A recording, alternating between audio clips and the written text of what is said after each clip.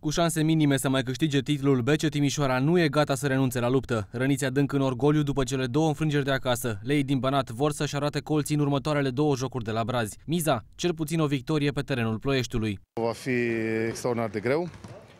Cum am spus, primul meci este cel mai important. Dacă mergem uh, super încrezători și mult mai motivați decât uh, și mult mai bine puși la concentrat, așa să spunem așa, decât ce am arătat aici și să avem o șansă acolo, în fine. Trebuie să câștigăm și de primul meci, e cel mai important. Nici nu, nici nu trebuie să ne gândim la altceva decât primul meci.